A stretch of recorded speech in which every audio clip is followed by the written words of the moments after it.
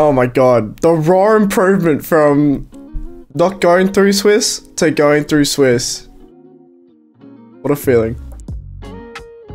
Bandits Bandits 3-1 on stream was uh it was interesting. I think we have a we we have a slight like nerves issue where we just like play at the speed of light when we're on stream. That Bandit series was messy, man.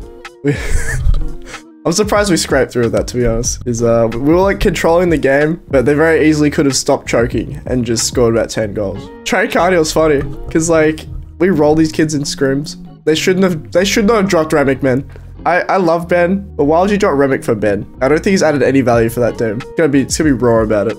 Not complaining though, because I get Remick now. But yeah, that, that Trey Carney team, I'm, I'm, I'm not even sure how we went to game five. Like, it should just be a 3-0 every time. We just we just have the better mental regain, I suppose, and the better game plan when we decide to execute and stop losing our balls. Pioneers is always like they, always they always dangle the win in front of you because it's like, damn, those were close games, all that one goal, and then you realize that you were never scoring a goal to begin with. So it's always like a one or two goal game. Maybe give it another split, and then we'll, we'll start taking games.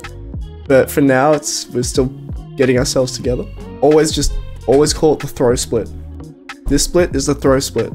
How many times did Lakeshore get reverse swept? It was like three times over the weekend. Uh, two or three times. Dude, what a what a way to go out. That was that was different. I remember losing the first two games and we're just like, dude, how about we just grow a pair and stop choking? And then we stopped choking and then we took two games and we're like, oh, yeah, I guess we just win now. And then we just won the game five. I don't know, it was pretty anticlimactic in comms. We are just like,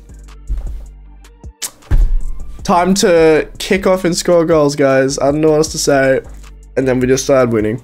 There, I don't know, man. Lakeshore just doesn't have the ice. Yeah, Placeholders was probably the most winnable series of all time. I was like, that was a disgustingly poor performance from us.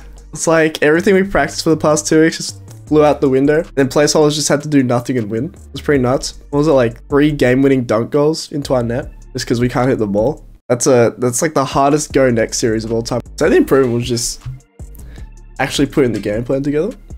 A lot of it has been individual concepts that we've been trying to it's like it's like putting together like a piece of paper with several scraps of broken paper with sticky tape and glue. It's like you're trying your best to make it look natural, but it's going to take time until it actually comes together properly.